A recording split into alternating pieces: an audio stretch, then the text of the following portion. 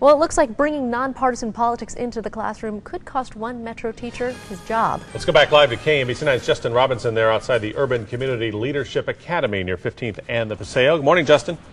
Hey, good morning, Chris and Dion. It all comes down to a YouTube video that was uploaded recently to the website, and we've actually been showing this all morning and received a lot of comments on our website. It all ranges from praise from the teacher who uh, put this, uh, who has some students uh, perform a thing with Barack Obama, also has some outrage from people who are not happy with it. Let's show you the video so we show you exactly what we're talking about. This is a junior fraternity regiment, and then they're, they're stepping into a classroom and they're dressed in a manner consistent with uh, college college African American fraternity called Omega Psi Phi. Now, what they're chanting is pro Obama rhetoric. Now, listen as the young men claim that because Obama's had success this year, that they too can have success in their lives.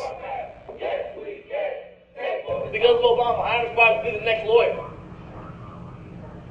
Because of Obama, I'm inspired to be the next automotive technician. Because of Obama, I'm inspired to be the next